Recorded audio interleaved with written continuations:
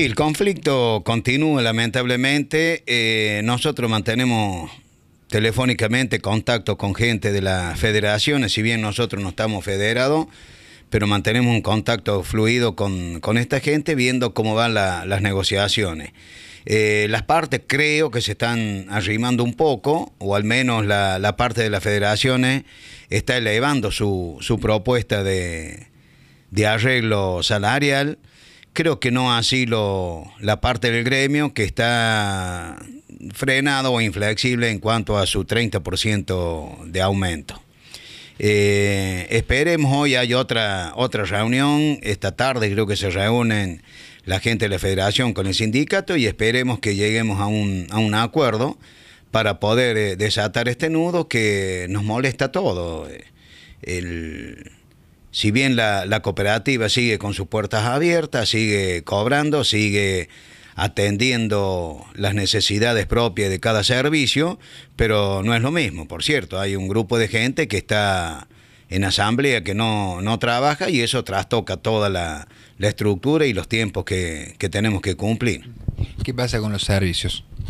Los servicios están garantizados, los servicios, eh, ellos por también por cierta obligación, eh, si hay algún, algún corte, algún problema en cañería, tanto sea de agua como en alguna red de teléfono, las guardias tienen que salir a trabajar sí o sí. Eso no pueden dejar de, prestar ese servicio. Lo que sí está parado completamente es el, tema de obras, tanto sean privadas de la cooperativa como las obras que tenemos contratadas con, con terceros como en caso de loteos y, algunas otras actividades contratadas por terceros. Eso, lamentablemente, lo tenemos todo, todo frenado desde las diez y media de la mañana hasta el horario que sale. Eh, de no haber un acuerdo en el los próximos días, ¿podría profundizarse esta situación? Profundizarse en el hecho de que vamos a, a perder tiempo que nos vamos a atrasar con, nuestras obras.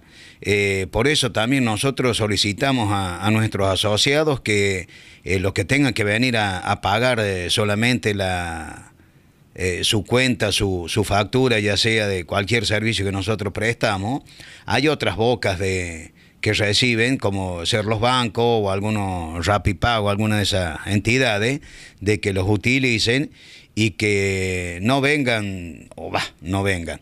Traten de, no venir más allá de las diez y media porque se va a encontrar a lo mejor con que hay que hacer alguna cola, algo, pero la gente eh, es atendida. No normalmente, pero es atendido todos los que vienen a nuestra cooperativa.